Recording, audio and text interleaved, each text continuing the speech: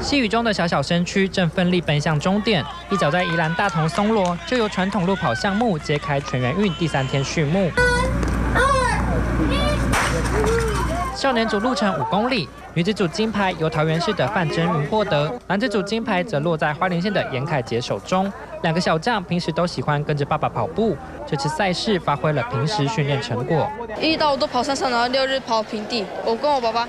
同样也喜欢跟爸爸一起路跑的施慧平，在青少年女子组为桃园市摘金，而青少年男子组金牌则是由台中市的田瑞祥夺下。回花莲的时候都会跑山上。一个人？跟爸爸。花莲的比较好跑。怎么说？比较熟悉。先跟他们，然后等到折返回来再自己先出，再自己出来。对，就是这样。就是有一些策略。对。公开组方面，男女子组冠军都是在这次田径一千五百公尺项目中获得金牌的熟面孔赖庭轩及曾庭伟。